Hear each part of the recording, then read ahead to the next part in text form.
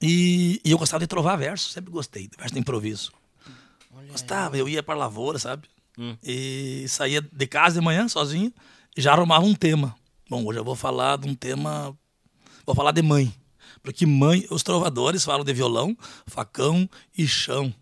Né? Que tudo rima, né? Sim. Mas mãe, uísque, essas coisas, ninguém bota no A verso. quebra do verso é mais É, complicada, né? Tem que te colocar no meio, né? Sim. Então eu pegava esses temas e ia pra lavoura. E daí eu trovava eu, eu comigo mesmo. Eu fazia o verso, Eu comigo mesmo.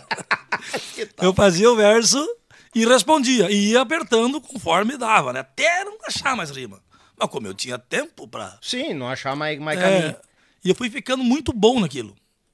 Ah, assim que não tinha rima que me apertasse, sabe, Daniel? Comecei a ir pros lugares ali, via os caras trovando, chegava e gostava. E aí abria o peito e tudo que rima que vinha eu sabia, né? Porque eu vivia treinando o dia todo. Sim. Né? E tudo é segmento, tu sabe que é, né? Tudo é, segmento. Normal. Aí um domingo daqueles ali tinha aquela festa na, no CTG. E eu digo, mas eu, eu vou pra lá. e dei um giro na mãe e no pai, mas já tava, pô, com 16, 15, 16 anos, mas naquela época a gente obedecia, né? Os filhos ainda tinham aquele respeito pelo pai e a Sim, mãe. não, né? era outro, outro momento, né? Bata louco. Entrei no CTG lotado.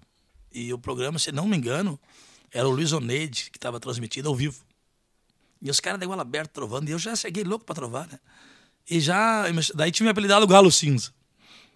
Ah, chegou o Galo Cinza, porque eu cantava, e era metido, né? Aham. Ai, já me botaram cantar. Me botaram cantar e eu me atraquei valendo. E quando eu tava na metade da- do meu show, a mãe entra lá na porta. Eu olhei assim.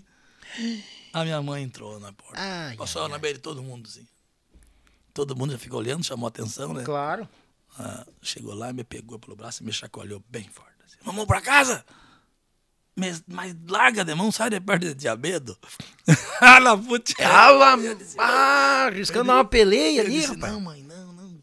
Deixa só terminar minha... Só o verso, pelo menos. Só, é, é. Deixa eu terminar que eu Tô vou te embora. falando sério, por. Que bagulho. É, e aí ela foi embora, meio chorando, né? Daí dali em diante, aí já não, voltei pra casa, meu pai já me botou aquela peleia, né?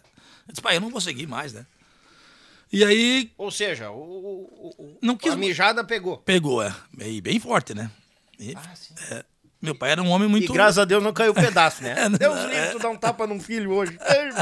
Não, nem pensar. É né? isso. Tem que pensar umas 30 vezes amanhecer um chilindró ainda.